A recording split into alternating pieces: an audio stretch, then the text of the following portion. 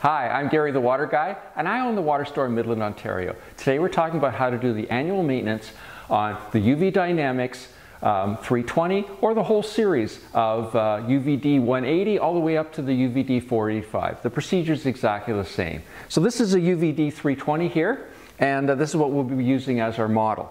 So a couple things to get ready, before you start the procedure, you'll need a re replacement ultraviolet bulb because they only last a year and it needs to be replaced. You'll need um, some clean cloths. You'll need a bucket to capture some of the water that's uh, flowed out. And uh, you'll need a cleaning product, um, CLR like this, or you can use vinegar or Lime-A-Way product like that.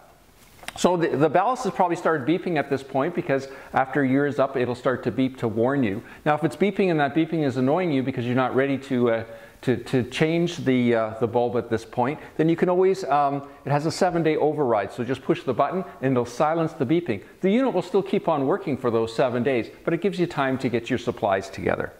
So once you're all set to go, then the first thing you need to do is shut off the water. So hopefully you checked my other video and uh, in this series on how to install a unit like this and you put a ball valve in ahead of this. If you don't have a ball valve, then what you'd probably have to do is shut off your water supply. You may, it may actually have to just shut off the pump if that's the only way that you can shut it off. Okay? Then hopefully again you've got a ball valve installed after all this. So again, you would shut off the ball valve to isolate this area. Then the next step would be as you unplug the ballast, you want to get power down the ultraviolet light. Now it may be quite warm, so you may want to leave it for a few minutes um, so it can cool down. The next step would be to undo the filter housing here, unscrew it, and then that would drain all the water out of the lower portion here of the system. And um, then what you need to do is uh, remove the bulb and the glass sleeve. So it's powered down now, so you can un undo this uh, nut at the top and you'll see the whole unit pops up because there's a spring inside. And uh, now you can't touch the ultraviolet light bulb itself, the glass portion of it, but you can touch the ceramic ends. So if you lift it up, grab it by the ceramic end, and then gently pull the, the electrical cap off. It's just four pins, it just pushes straight in. And then again, grabbing your rag, you can pull that right straight out. Now the bulb actually fits inside a quartz sleeve and the quartz sleeve is where the water flows over during the disinfection process. So what you need to do is you need to unscrew this uh, gland nut at the top. Now it should have been installed finger tight so it, you shouldn't need any tools but if you do you can use uh, something like this to uh, loosen it up. And then you can pull this out again grabbing the quartz sleeve with, a, with a clean cloth and pull this out. Now this, this um, needs to be cleaned, this quartz sleeve. It needs to be perfectly clean in fact. So you can use a product like I say a CLR or something like that to clean the outside. If you can't get it clean, then you'll need to replace this quartz sleeve. Because if this quartz sleeve is dirty, the ultraviolet light won't have the intensity to shine through that dirty sleeve and still kill the bacteria. So that's an important step. So to remove the sleeve from the gland nut, you just twist it um, it's not threaded in or clipped in any, any way. You just twist it and remove it. Inspect this uh, O-ring, make sure it's still in good shape. If not, you can replace it.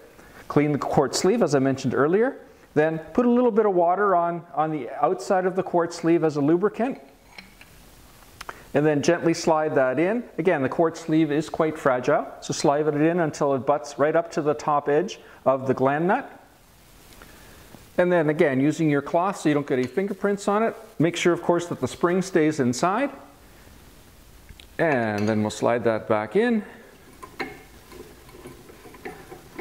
Hand tighten that. Like so. And then the new bulb we would insert at this point.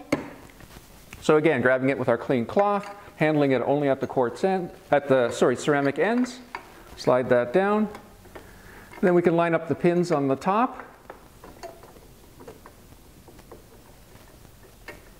And make our electrical connection. There we go. Slide the whole thing down, tighten up this, um, this nut or this bolt on the outside. Again, it's only plastic, so just tighten it slightly, just enough to hold the, the cap in place.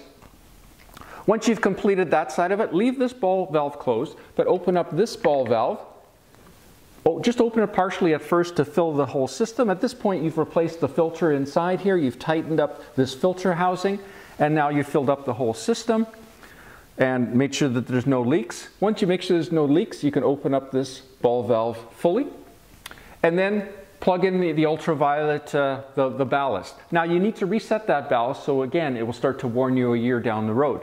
So to do that, you push the button on the front and while you're holding it down, you apply the power to the unit. Once you've done that, it'll beep three times to tell you that it's reset and that it's now in service. I usually give it about a minute or so to power up and to, uh, so the bulb comes up to uh, full intensity. Once uh, that's happened, then you can open up uh, the water flowing to the house. And then the next step would be to do the disinfection. Again, there's a video in this series that shows you how to disinfect in ultraviolet light. The disinfection process is the same, doesn't matter what brand you have. And that's it. If you like what you saw today, please click the subscribe button. That way you'll be notified about all the new videos as they become available in this series and on my channel. Or if you need more information, you can go to our website at www.thewaterstoremidland.com. And again, I'm Gary the Water Guy from the Water Store in Midland, Ontario. Thanks for watching.